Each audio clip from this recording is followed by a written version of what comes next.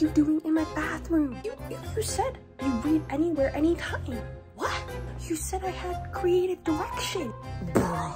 Hi guys, it's Jennie. Welcome back to my channel.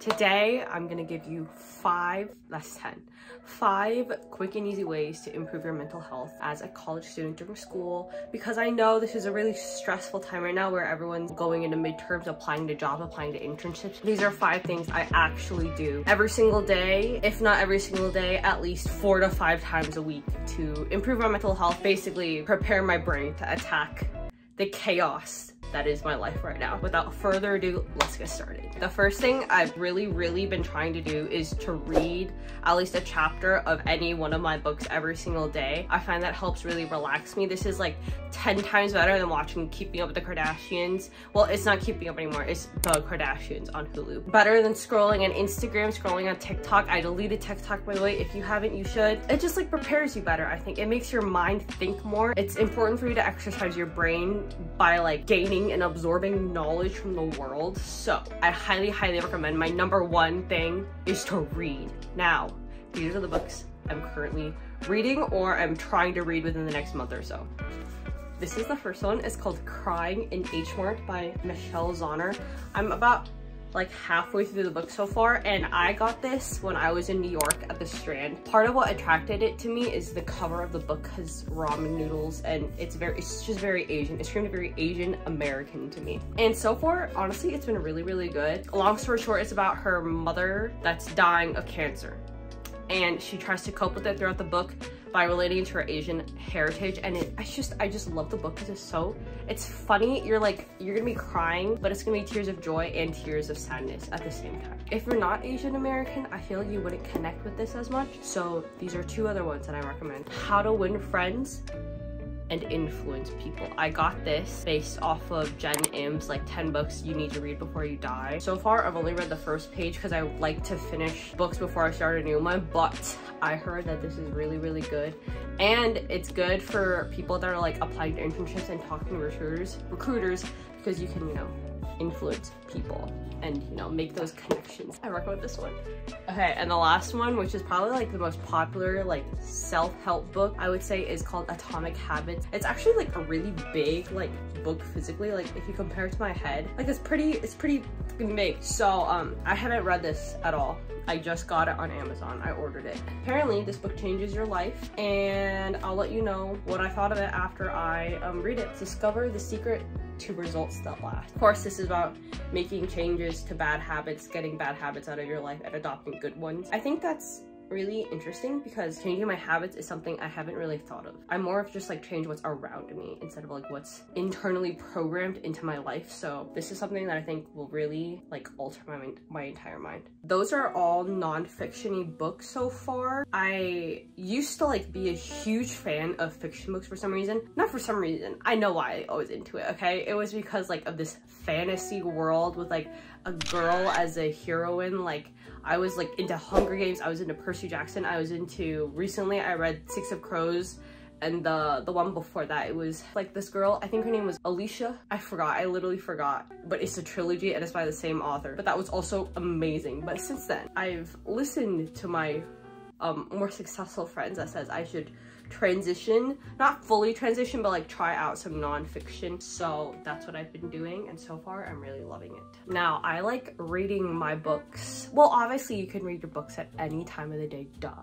But I really like to read my books at night after I've done my entire nighttime skincare routine. After I did all my work for the day, I tuck into the covers, especially when it's winter right now. It's gonna, it's getting into the, the cold season. So I like to read my book with like my little salt lamp next to my bed and just read away. The second thing I've been doing to improve my mental health is to go on walks every day.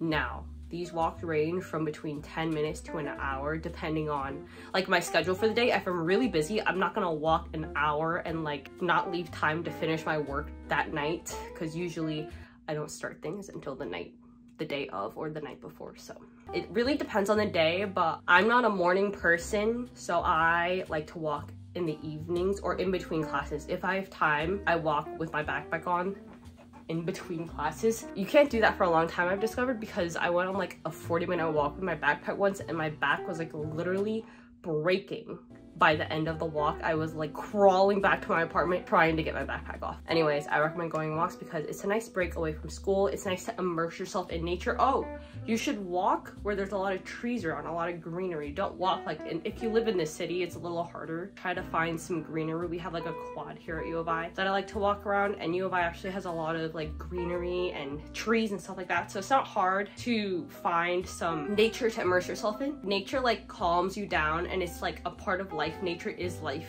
You are life. You are nature. Being in nature is very good.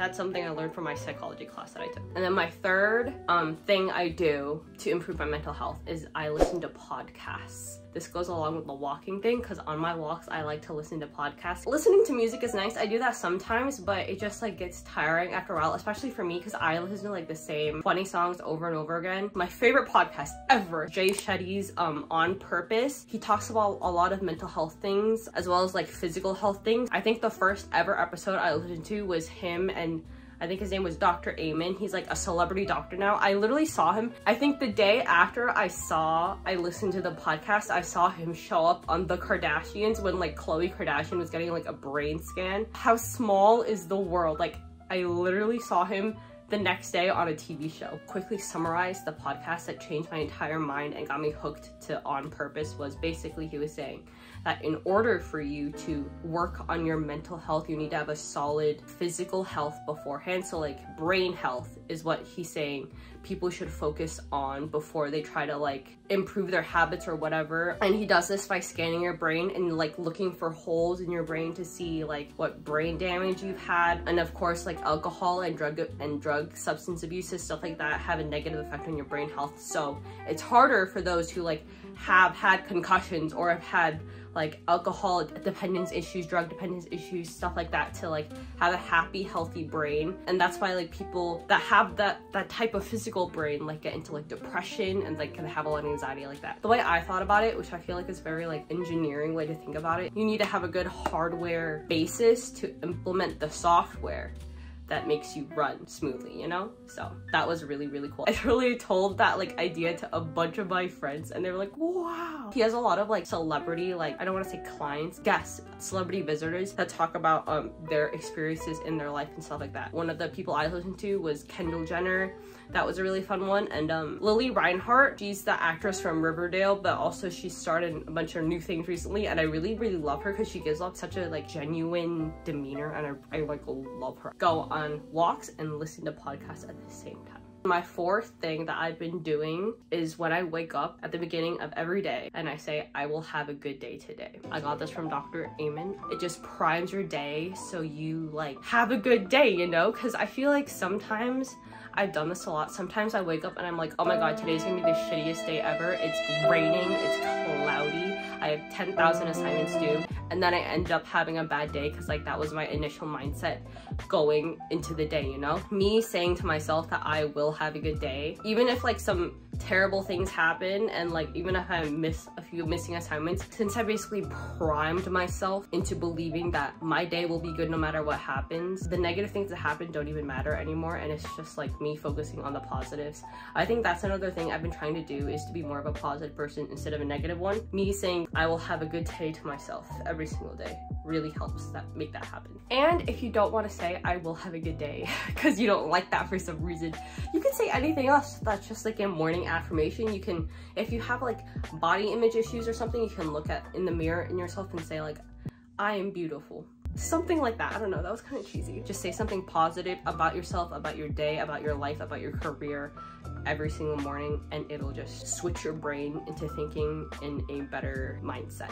Fifth and final thing that is I think the most like materialistic thing I do to increase my mental health is I dress nice for school. I dress nice for school, for university, if I have a lot of things to do or if I'm under a lot of stress. And you may think that dressing nice doesn't change your mind, but it does, and let me tell you why. Because you're dressed nice and you put on this nice dress, I don't wear any dresses, so I don't know why I said that, but you put on these cool pair of jeans and like this cute little thrifted top and like a nice jacket on top, you feel like a fucking badass, right? So when you walk into the classroom, you're like, okay, I'm a fucking badass woman and I'm ready to listen to this fucking lecture, it'll make you feel powerful and give you confidence. In my opinion, when I show up to school, I mean, I, I do this too when I'm not feeling like putting on a slay outfit. I show up in like sweatpants and a hoodie or whatever, but I find that since I'm like so comfortable it's hard for me to focus on like the lesson and the lecture because I'm so comfortable that I'm just like relaxing and on my phone and stuff like that. So I know sweatpants and hoodies may be very comforting